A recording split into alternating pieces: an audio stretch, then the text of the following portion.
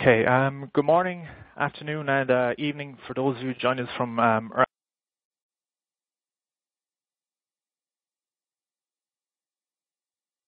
around the world today. Um, I'd like to welcome you to another KEMP expert webinar series on migrating your data center to Azure. We are delighted to have Azure MVP Nicolas Blank and his colleague Warren Du Toit here today to present um, this expert webinar. Before we get started, um, I'd like to go through a few housekeeping items. Um, today's slide deck and recording will be made available to you in a follow-up email after the webinar. After the presentation, we will set aside some time for a Q&A, so please pop any questions you have into the Q&A box um, on your screen. On the left of your screen, you will see a resources section, which includes a link to a KEMP Azure free trial which will allow you to test drive um, a KEMP LoadMaster um, in the Azure environment. Plus, there's also some other useful resources there.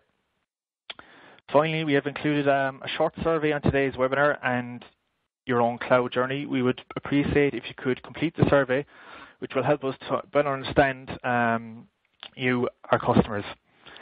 Um, we're excited to have you all with us today, and we hope that you find this presentation valuable. Over to you, Nick and Warren.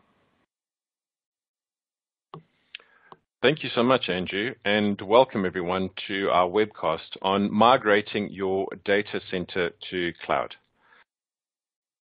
By way of introduction, I'm Nicolas Blank, and uh, what I do for a living is I either build clouds in terms of cloud architecture or I migrate people to the cloud. So we either use public clouds like um, Azure or we build folks their own cloud, be that hosted exchange or an iteration of what can be um, Azure Private Cloud, either via Azure WAP in the, the previous version or Azure Stack. And I have the privilege of working with Warren Du Toit. Hi, everyone. Uh, what Nick said, basically, do the same thing. However, um, my specializations are more in the open source side of things. Um, I'm a solutions architect. I also build Azure infrastructure, but also with a bit of a focus on development operations and continuous delivery models, uh, working with Microsoft Azure. Um, I also focus a lot on the networking side, being able to connect on premises to Azure and focus a lot on the hybrid as well.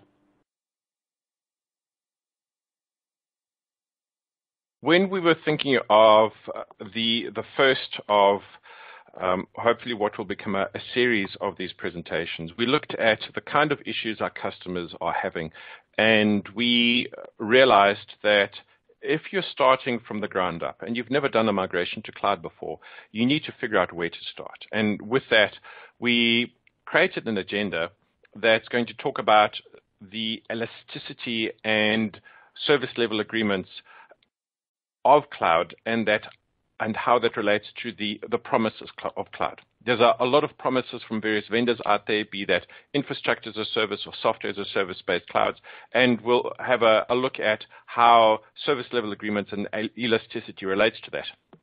We'll talk about basic cloud-based data center design from the ground up for those of us who've never done infrastructure as a service in terms of a data center replacement.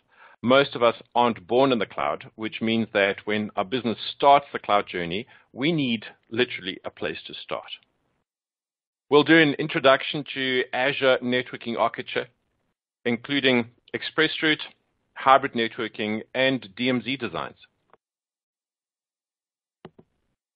Then we'll move on to how we can translate existing on-premises application requirements, such as compliance, high availability, disaster recovery, uh, as well as understand the different migration approaches, including lift and shift, where where we use platform as a service or infrastructure as a service, and how we can translate specific services that we use on premises to the ones in the cloud. We can, we're then also going to go through on how you can create an application taxonomy, which allows you to document your existing applications and services and then create a roadmap so that you can move those applications and services to the cloud without any hiccups along the way. I thought we'd we'd start with this. This is a, a fairly old picture and it still has relevance today. Often customers expect um, or have cloud expectations that are entirely mismanaged. Either they think that uh, migration to the cloud is just something that, that, that happens, and there's also a lot of fear, uncertainty, and doubt, or, or even worse, unrealistic migration ex expectations in terms of how we get to cloud. There's been a lot of promise in the vendor landscape in terms of what cloud can do for us, but ultimately we still have to figure out how do we get to cloud and how do we do that in a supportable manner in a way that makes sense to our business that we're working in. So with that, I want to take a quick detour into the economics behind the promise of cloud. As a principle, cloud services are meant to be able to deliver more than their on-premises equivalents can and can grow to accommodate further load. So if I'm consuming a mail service, for example, and my on-premises mail service is to receive a million items that I'm sending and receiving a day, I would expect that the mail service that I'm consuming that's cloud-based can, can consume multiples more of what I'm able to do on premises. That will take into account loads and bursting workloads that I no longer have to accommodate and that's part of the promises of cloud. Clouds tend to be on demand, both economically as well as in terms of delivery capability, which is what the elastic means. If a cloud offering comes to market, it should be able to handle many times more load than the on-premises equivalent service or be able to expand on demand, very much like the mail example that I've just used. That allows us to overflow all kinds of services but typically as islands of services. For example, if I use a virtual machine that's hosted in the cloud that I have uploaded, that presents an island of a service that's not necessarily connected to anything else. Of course, one of the many benefits of cloud is that we're able to offload our internal SLAs that we have with the business to the cloud vendor. If I have a back-to-back -back SLA from the cloud vendor to my business for 99.9 or 3 nines availability, and the cloud vendor gives me a punitive SLA for 99.95 availability, then that counts in my favor. We know of cloud vendors that offer 100% punitive SLAs, but of course that depends on the type of service on offer, and the fine print is how the SLA is managed. Normally, that SLA starts and ends at the vendor's edge and not on your network edge.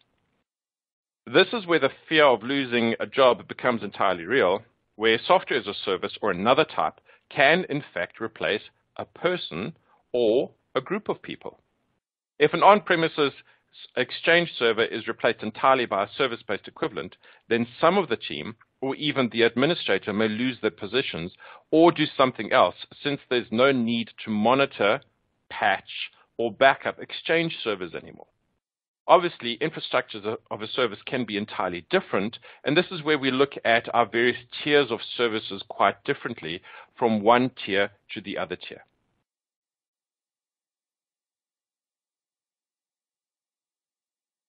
Continuing on from what Nick said there, the cloud-based services, the three tiers that we have, it is very important to understand the differences between the tiers and which one is used for what. That is one of the mistakes that we see quite often. So software as a service is exactly that, software, like SharePoint, Exchange, CRM, and it is generally available remotely, typically via the public internet, so HTTPS. Uh, so when it comes to those sort of on-demand applications that are hosted by these service providers. They're typically paid for in a subscription basis or per user model, and you get a specific group of services tied in with, with each other. You then move on to platform as a service, and platform as a service speaks to platforms, which could be software or services. However, it allows you to integrate your development of these particular applications or services. So for instance, if you have an application that relies heavily on Microsoft SQL, you could use Microsoft SQL on a platform basis, which gives you many advantages over running the SQL servers yourself. Uh, Azure provides a lot of platform as a service offerings. You can get SAP, you can get SharePoint, and there's a whole bunch of other guys that have gone and put these platform as a service offerings inside the marketplace that you can just spin up. Uh, the third tier here would be infrastructure as a service. Infrastructure as a service is basically the equivalent of what you would have on premises in a way. There are some caveats. However, your networking, your security, your legacy, your legacy operations can all be moved into an infrastructure as a service. However, this complicates your life since you then do have to worry about patching and you do have to worry about how your network design is thought out from the start. And you do need to worry about scaling of the infrastructure.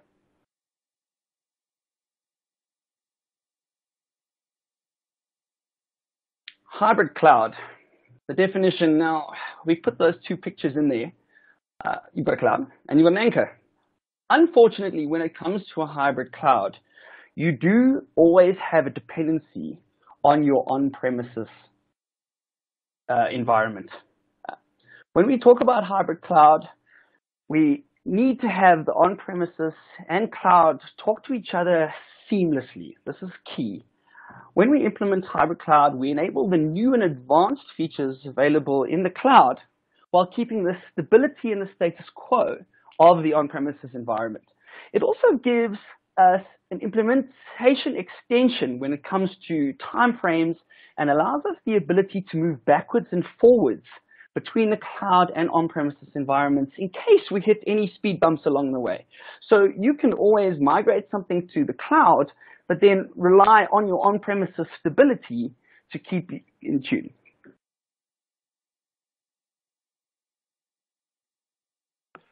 So looking again at the promise of cloud, but this time the hybrid cloud economics. It's a similar model to cloud-only based services, but with a big difference.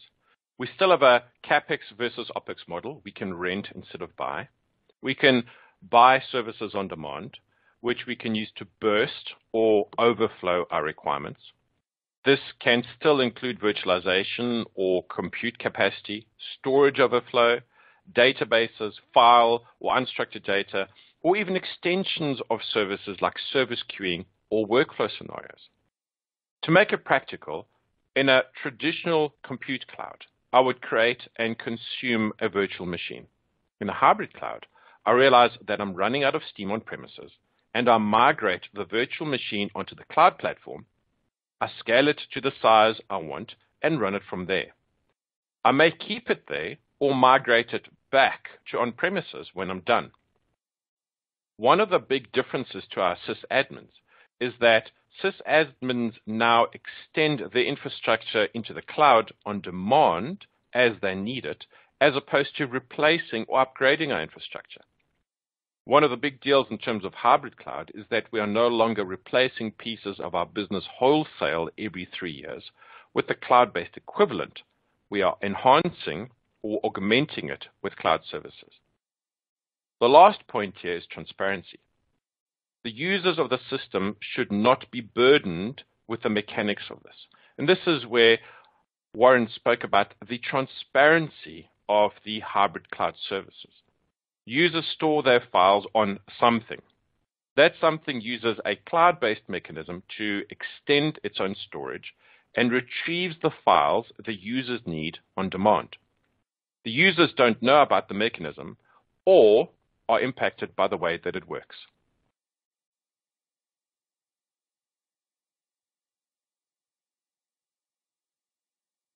Infrastructure as a service can be a complete data center replacement, or it can be a massive improvement on everything in your existing data center.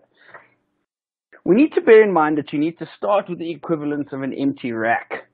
Basically, nothing inside the rack inside the data center, and you need to start building everything up. Everything needs to be planned for, from naming conventions to access rights to what IP addresses are to be used. You need to plan the integration and the connectivity aspects of this quite carefully, including the physical or the logical network connectivity. This is a very common mistake that we see. When it comes to networking, one of the biggest mistakes we see is that people just jump into jump in without planning and they end up with 45 virtual networks inside Azure, and they don't have any way to route, route, this to the on-premises environment. Um, also, from a cost factor, gateways, Azure gateways, which allow the virtual networks to talk to one another, can become a very costly exercise since you will be paying for the data that is transmitted between the two.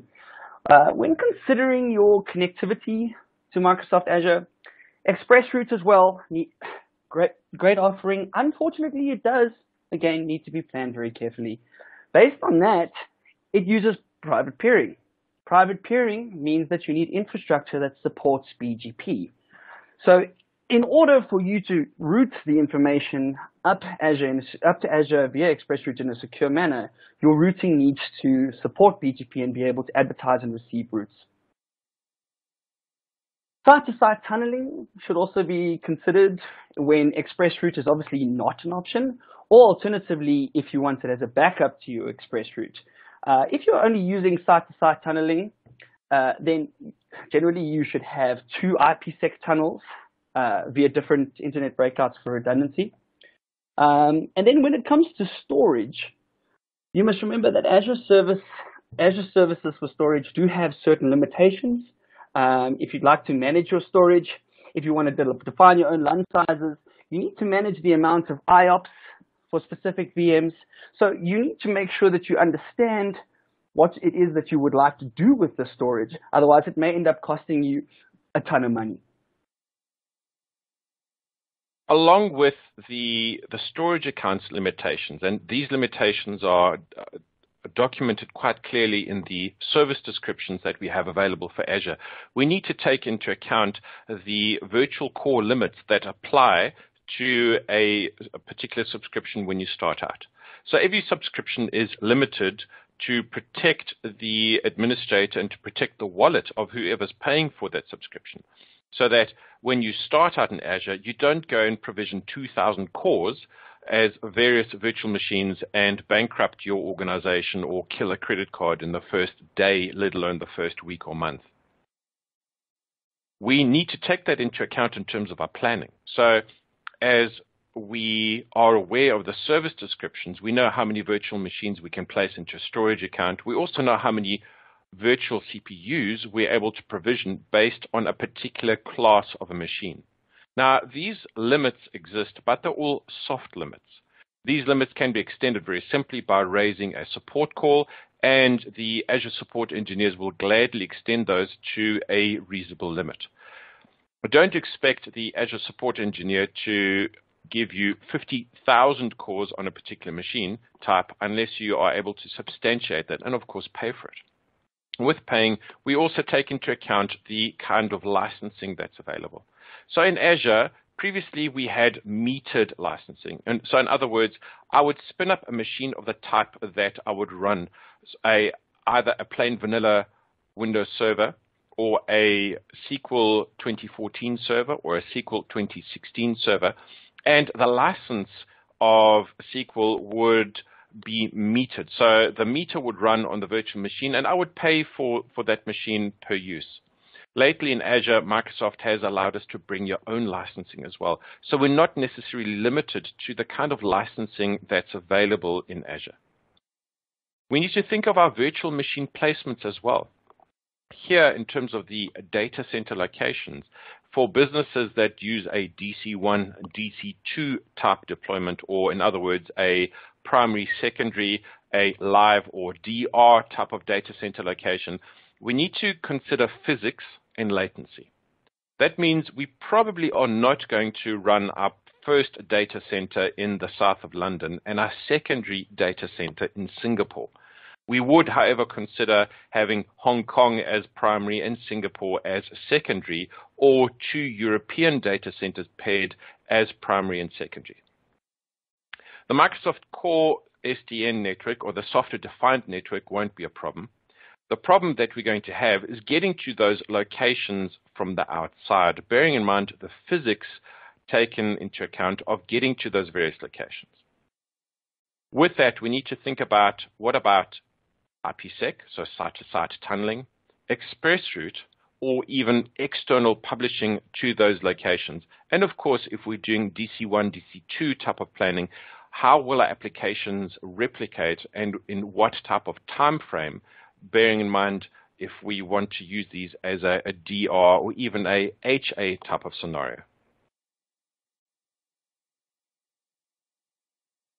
In this slide, we wanted to list some of the areas that you would consider when moving applications and virtual machines into the cloud. We understand it's a busy slide, and we want to remember that effectively we're talking about a data center re-architecture, or if your on-premises environment is a mess, the possibility of doing it right. With that, we're not going to go through every single word on this slide. Bear in mind that this slide is a takeaway. And this is also our criteria for most of what you should be thinking about when doing a data center replacement into Azure. With that, let's start with point number one. When it comes to point number one, we don't want to sound like stuck records here, but your network planning needs to include the entire network. You should apply many of the same principles in Azure as you would on premises. You would start with the internal connectivity IP subnets, your gateways, the cloud equivalents of VLANs, and then move to the external side of the network, which includes your security, your demilitarized zones, your firewall rules, your load balancing, and obviously your DNS. The structural microsegmentation in this case would allow you to also manage security and access to specific resources via the Azure Resource Model or ARM. It also allows you to segment infrastructure based on department uh, to allocate billing and resource cost of each workload to specific sides of the business. So if you need to build a server for HR, HR can pay for it because you will be able to determine how much that particular server is costing every month. When it comes to workloads and class sizing, this pertains on how much compute or processing you would need to allocate to a specific set of tasks, how highly available they must be, uh, based on your recovery time objectives, your, your RTO, or your recovery point objectives, your RPO. Do you need two copies of a workload running? Uh, this can be separate to your scaling requirements, of course. Azure allows you to automatically scale workloads based on the trends that you're able to see in other areas, and we'll touch on this a little bit later on. Your encryption in motion and uh, your encryption at rest standards need to be considered if this is a current compliance standard, uh, as well as your on-premises certificate authority. Azure supports both encryption in motion and at rest. Using BitLocker and protected VMs in Azure is able to manage your encryption keys. And you can choose to manage this yourself as well. When we look at management and reporting in cloud, we need to consider what management and reporting means on premises. And these should be standards that we have on premises. And we'll talk about what those standards mean in a later slide as well. For now, management and reporting and with infrastructure as a service taken into account is the extension of our on-premises data center into cloud. With that, we need to consider we want to authenticate our infrastructure as a service-based services, and that would mean extension of Active Directory. We may then also consider moving various synchronization points that we have, say um, AAD Connect or uh, Azure Active Directory Connect as a sync appliance, which is today running on premises, over to a virtual machine that's running in cloud. With that, looking at maintenance and operations today on premises, what does that mean in the cloud? If I have a virtualized data center, I no longer have hosts that I need to maintain. However, if I'm running infrastructure as a service, that means I still have guests that I need to maintain. There, I need to consider the Azure dashboards I've got available and do I use OMS versus my on-premises System Center Operations Manager or equivalent service that I may be running. What is the place of monitoring? And consider that Azure patches our hosts, but not our guests. So with that, we still need to plan an effective Windows, Unix, and Linux patching strategy, depending, of course, on the workloads that we're running. once a workload becomes redundant or in need of decommissioning, the onboarding and offboarding or succession processes become very simple. We can turn these workloads off, we can save them for later, we can roll them back, or we can just retire them completely. And you would start saving immediately based on the fact that Azure workloads are charged for on compute times. So onboarding workloads can be done just as easily with all the migration options for Azure. And then when it comes to the development ops operations lifecycle, tying in with what Nick said for point number six, uh, if planned correctly, Azure can make your life very easy using built-in functionality in Operations Management Suite or OMS. And automation tools such as Chef and Puppet can play a key role in allowing you to deploy and manage workloads in Azure quickly and easily. Development operations becomes the standard for operations and continuous delivery models allow your applications and services to change and update at a pace to support feature updates and bug fixes in all of your workloads. In your on-premises world, you'll have a lot of content, and you possibly have a data management classification and protection rules around that. Now consider if you're moving from a Windows file server, and Windows allows automatic classification of data based on file type and content. With that, sometimes encryptions of those files. What does that mean when we move from a file server to file services. In this case, for example, an Azure file share, which is accessible by several virtual machines that are running as infrastructure as a service. We need to think about what happens to the automatic file classification that we used to have in Windows file servers and no longer applies necessarily against what happens in that file share. With that, we have a compliance burden on premises that we need to take into account on premises. If I have a SIEM, that SIEM today is part of my compliance mechanism. That SIEM will consume logs and aggregate those logs, alert against those logs, depending on what that SIEM does. And we need to take into account that the various services we have within Azure can also generate logs. These can be consumed by SIEM services, but normally those logs need to be collected via a storage account, and we may have extra logic that's required to push that to our current SIEM, be that an on-premises SIEM, which we may need to think about how to move that to cloud, or it could be an outsourced SIEM that you are taking from a third-party security provider. We also need to consider the role-based access control model that we use, or in other words, the least privileged model that we want to consider for Azure administrators. In this slide, we don't want to provide solutions for all of these. We want to highlight that these need to be thought about extensively since you'll have on-premises equivalents of these. You need to think about what these mean in the cloud world to minimize your risk, to ease the transition to the new cloud-based equivalent of what you are able to do on premises. In this slide, we're defining several infrastructure as a service and platform as a service type of firewalls, including a firewall type mechanism that isn't a physical firewall but acts like one. For the sake of definition, we're going to define a firewall as something that can restrict traffic based on either a layer 3 or layer 7 rule set and create a log that details our traffic flow and of course captures our firewall logs. With that, I'll ask Warren to unpack the three types of firewalls we have here. So we start off with network security groups or NSGs. NSGs, an NSG is the main tool you would need to enforce and control network traffic rules at the networking level. In Azure, you can control access by permitting or denying communication between the workloads within a virtual network from systems on a customer's network via cross-premises connectivity or direct internet communication. Both virtual networks or VNets and network security groups reside in a specific layer in the Azure overall security stack. Network security groups and network virtual appliances can be used to create security boundaries to protect the application deployments in the protected network.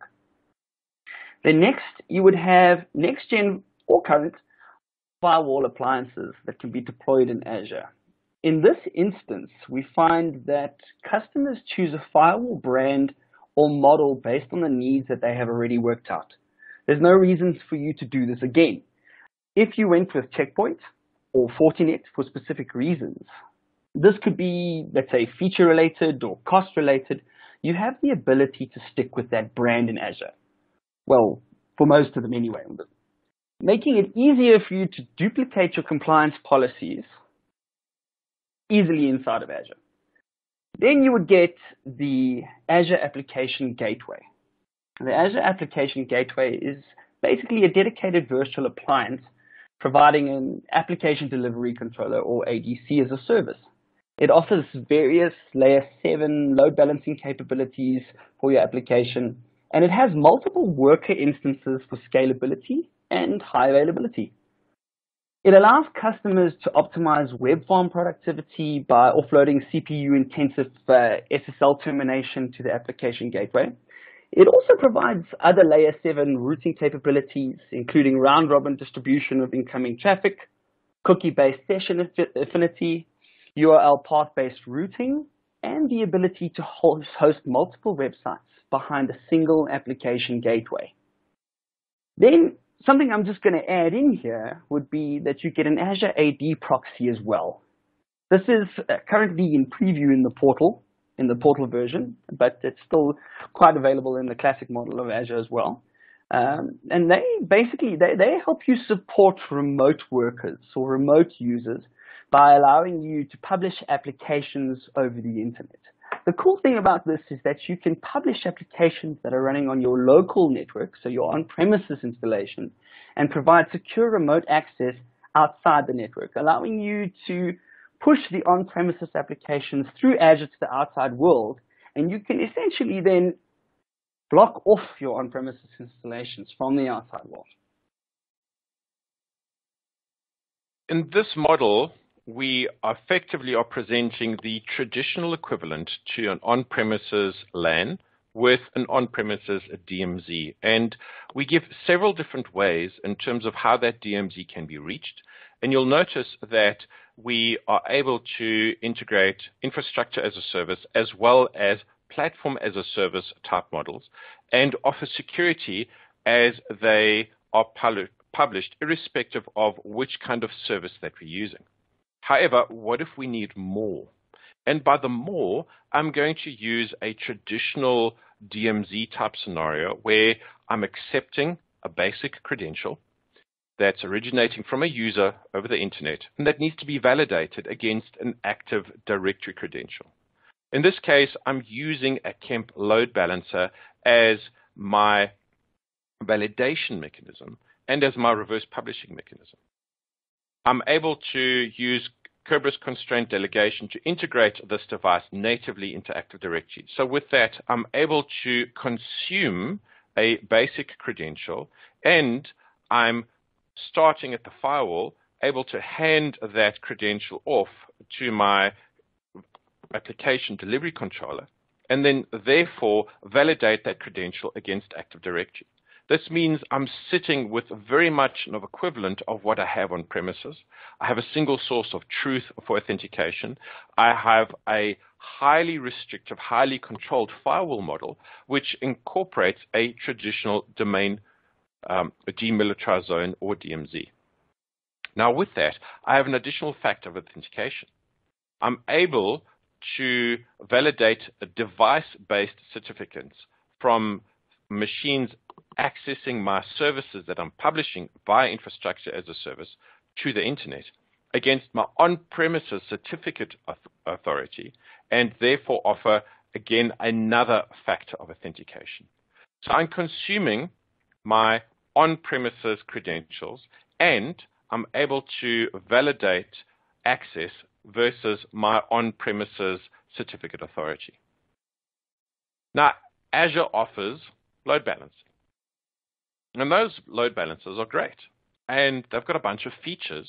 And they're great until they don't do what we need them to do anymore. Now, with that, we have to look at what is available natively and what is available via a Kemp virtual machine. And so here I've taken a view of when do I need a virtual machine that does load balancing versus when do I need the Azure load balancing mechanism.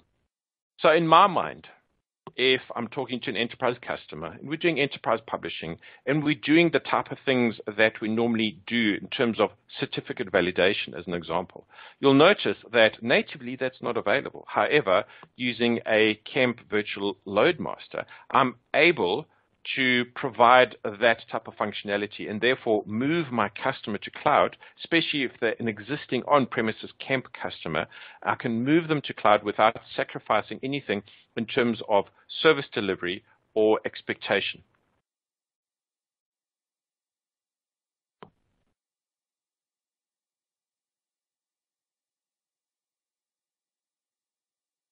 Here is the Microsoft reference architecture for a tier 3 application. It's a really pretty diagram, even though I never drew this one.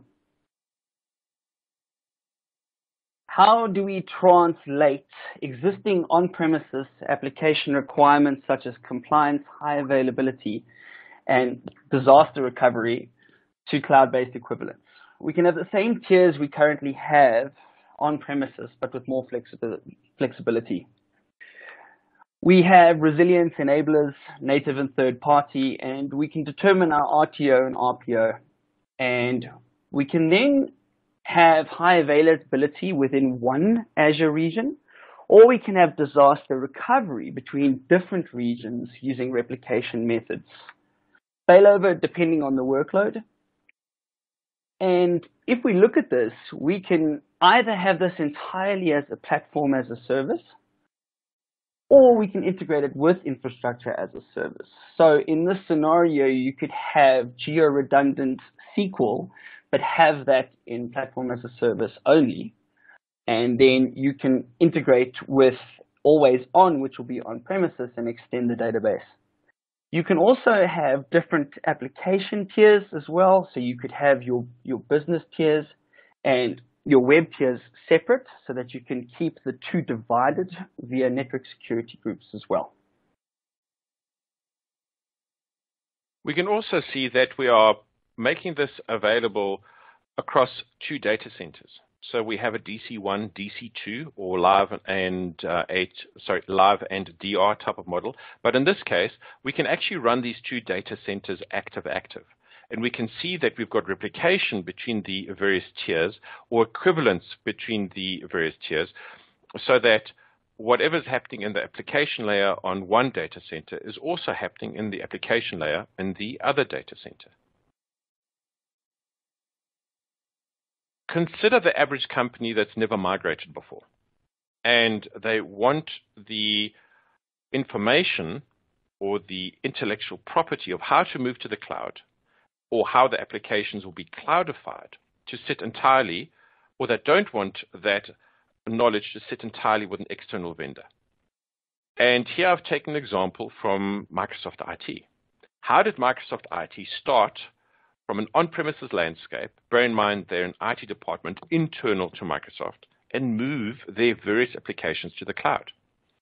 They created a cloud panel.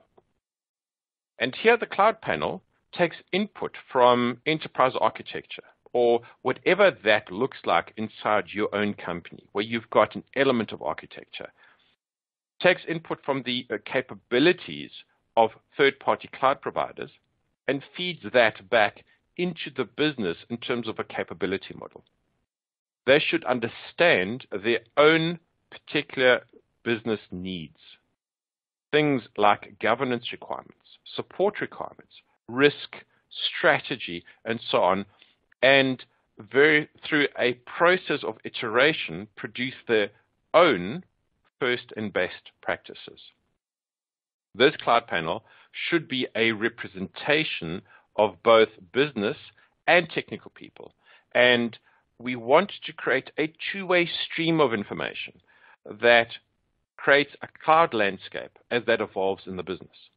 So we would start in the Microsoft model with an experimental stage. Let's move our first application to the cloud. And this should be a low priority application. What does that look like? what are the type of learnings that we've gleaned from that move? What worked, what failed, what was disastrous, what was a success?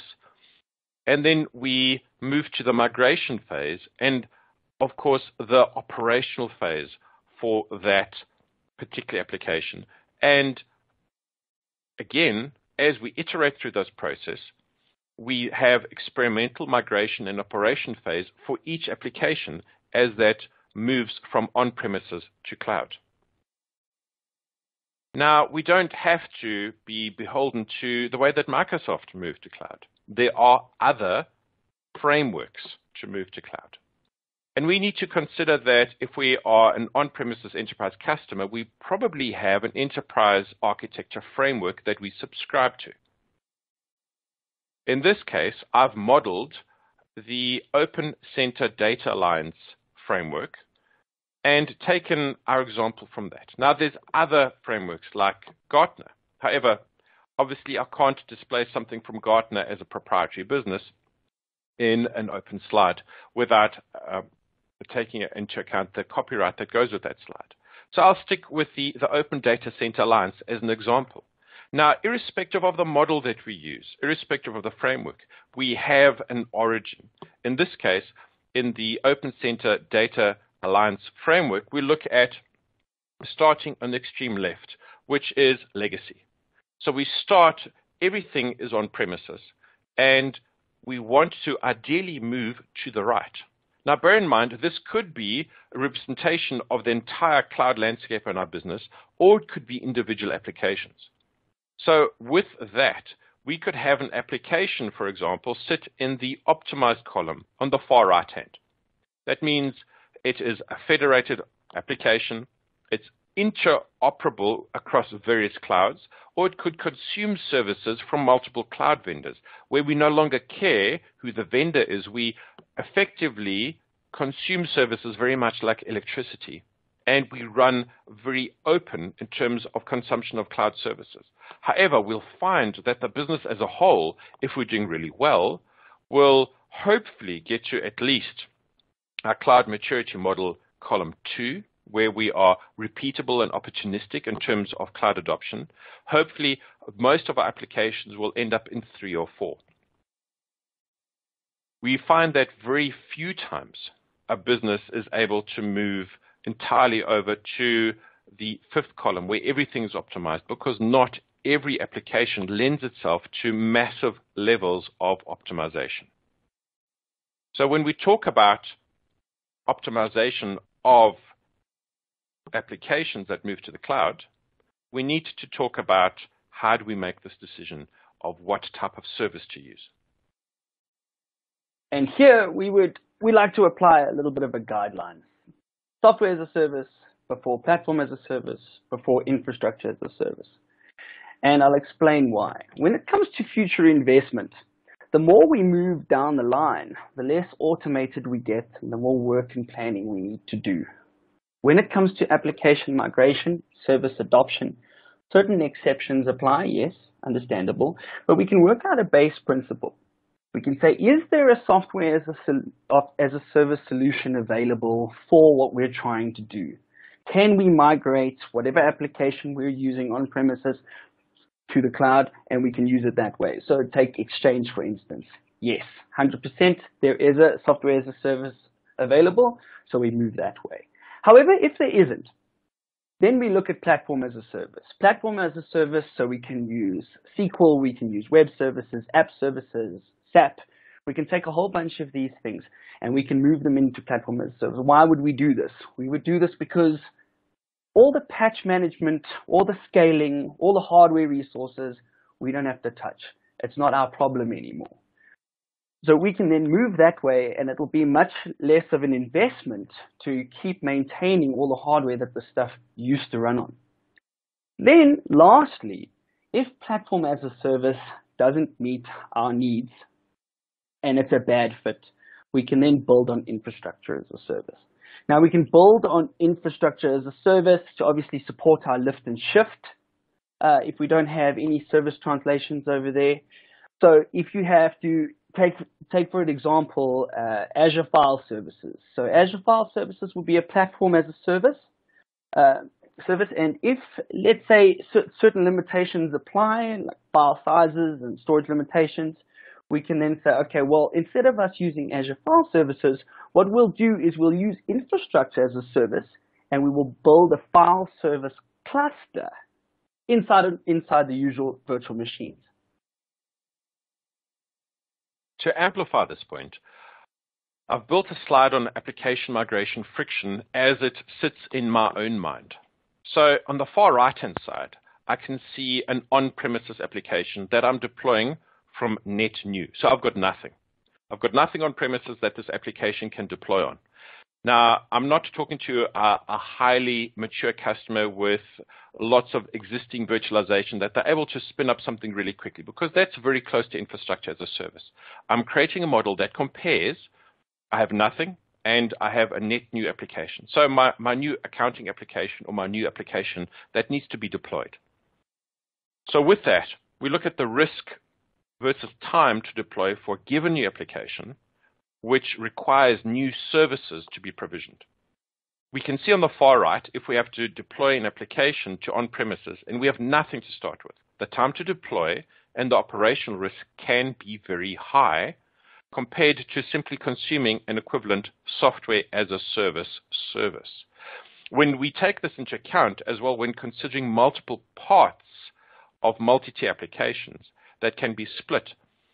And we take SQL as a service and a web worker role into account as an example, where we can very quickly deploy two platform as a services type services and deploy an application in hours or days versus having to buy the hardware for SQL, provision our virtual machines, and license SQL, which can be risky if I have to take into account the supply chain that that is required for ordering new hardware.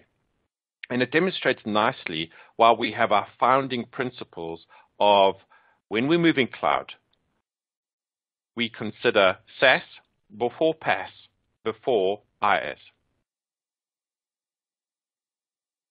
With the friction of mi migration taken into account, we look at evaluating the various aspects of our application, including the workload that it represents, the architecture to build that application, the finances, risks, operations, and security parameters for an individual application, and evaluate that against our base principle of SaaS before PaaS before IaaS. And if there's no fit, we consider either a hybrid cloud service, if that's an option, or if we need to shut our data center down and that's not an option, we may need to consider replacing or killing the application. Once we have this information, we can map that against the degree of benefits matrix on the right-hand side. That creates a very interesting worldview on our applications. Now that worldview decides how quickly we can migrate something.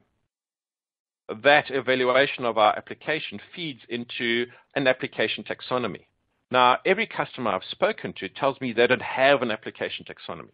And that application taxonomy really simply is a list of all the applications we have.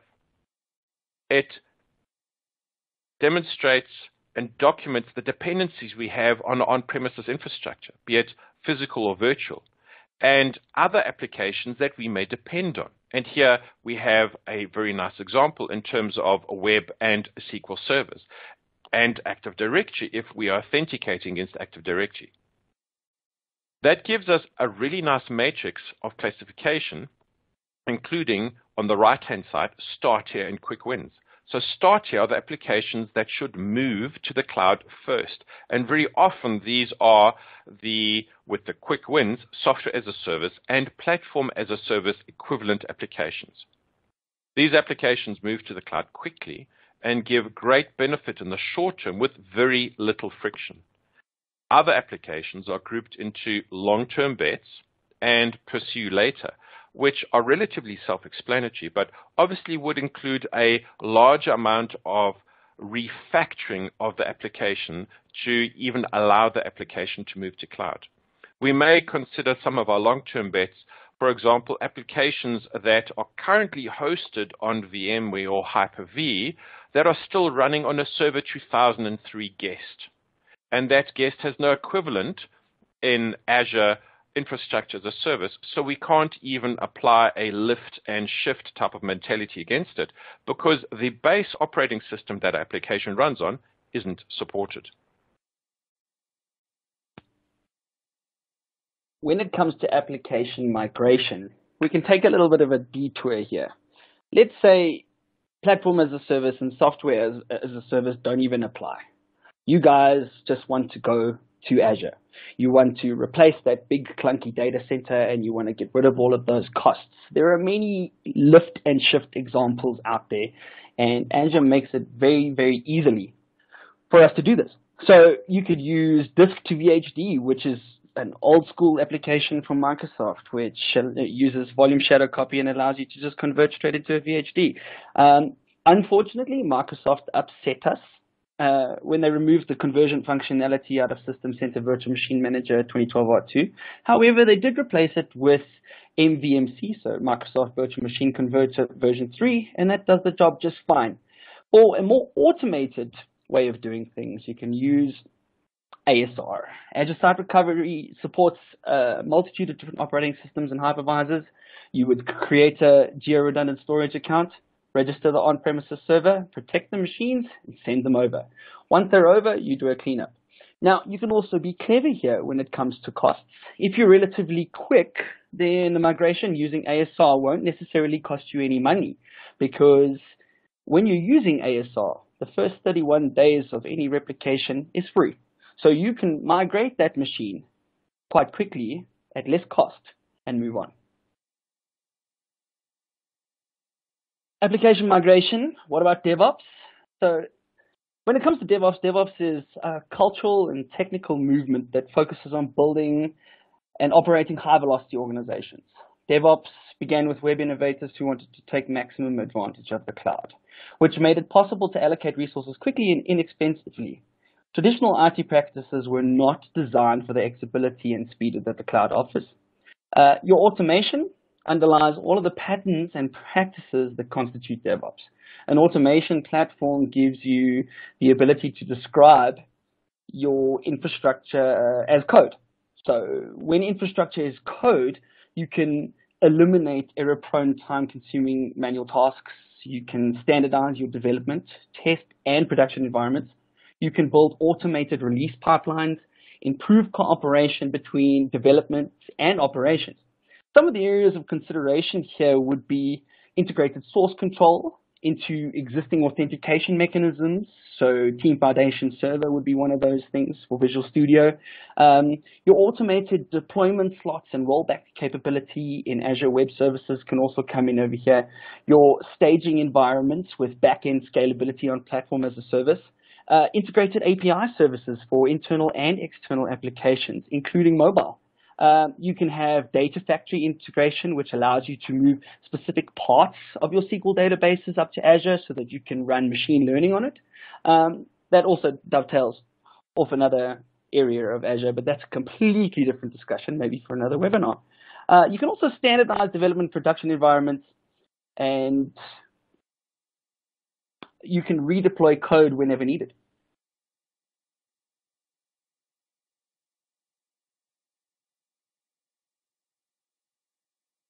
So with that, we're looking for a place to land. And there's still a whole lot to talk about.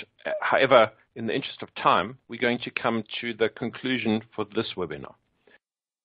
So starting off with application migration, we need to have our application taxonomy. Without an application taxonomy, we don't necessarily understand the construction of our applications, nor can we understand the relative cost of what that application means in terms of on-premises IOPS, CPU, memory, and storage, as well as what the cloud-based equivalence of that is. We need to understand how those applications interrelate to each other. And with that, we want to consider our founding principle of when we migrate an application to the cloud, that we move to software as a service before platform as a service, before we consider information as a service. When it comes to specific infrastructure as a service principles, uh, we've been given a gift. we've been given the gift of being able to replicate our physical environments in the cloud. And as with most, most gifts, we need to be grateful. If we ignore the physics behind the physical environments, we can run into problems. Network latency, increased cost, wasted storage, unusually com complicated network designs, and an abundance of unnecessary configurations can become a nightmare to clean up. Uh, we must also understand that you make sure the difference between Azure and the cloud or on-premises and your Azure cloud equivalent to your physical network service. An application gateway and a network security group are two very different things. And deploying the wrong service for the wrong reason could result in problems as well. As Warren said, the wrong thing, sometimes at the wrong time, can also bite you. So you'll find when you're deploying to cloud, very often you have to provision infrastructure in particular order for that to work. So for example, if you are making a application highly available using infrastructure as a service, if you create your availability group which is a logical grouping of those virtual machines to prevent unnecessary outage during patching or maintenance operations. If you create that after the virtual machines already exist, then you have to redeploy those virtual machines. So we would want to create our application in uh, in line with the, the physics and the service descriptions which our cloud service allows.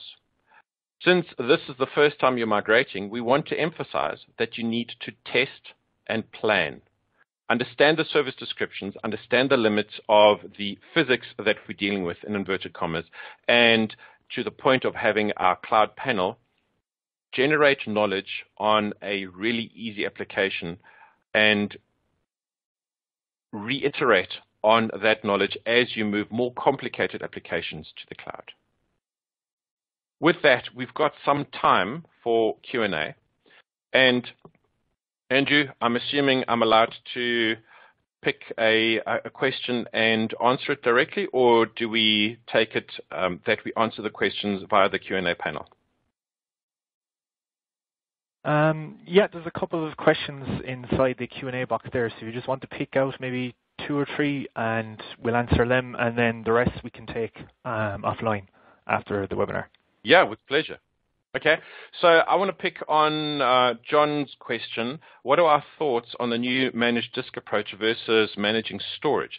So I think managed disk is fantastic because I don't have to think about how many IOPS I need to provision into a storage account anymore.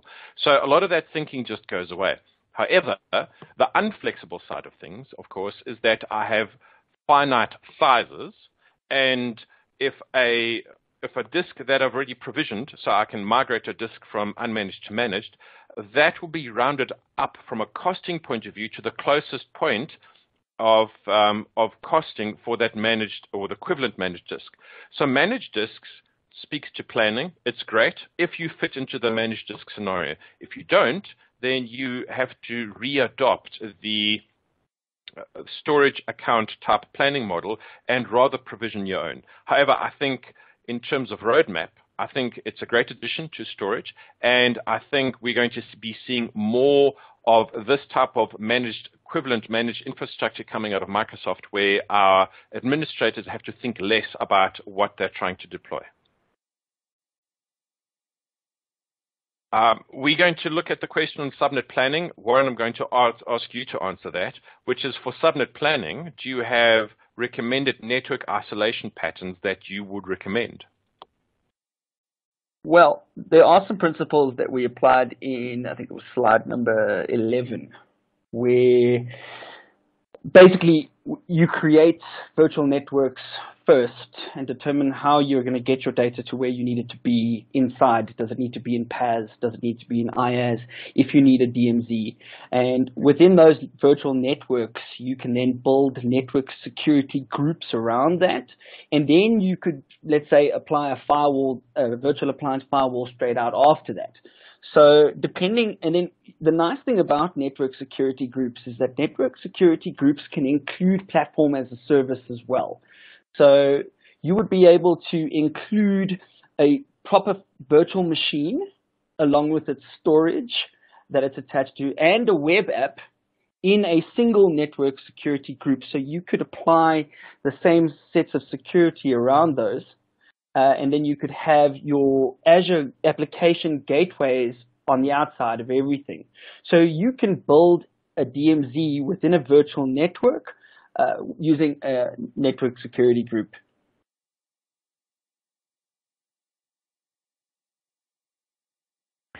Okay, guys. Um, yeah, we have um, still have a number of questions there, but um, we're out of time now, so we'll um, link up um, with those people that ask questions um, after the uh, webinar.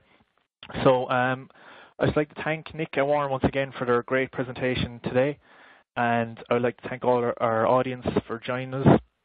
And just a reminder before you go, just to fill out that short uh, survey that we have there and we look forward to, to seeing you again um, in the coming months for another um, webinar.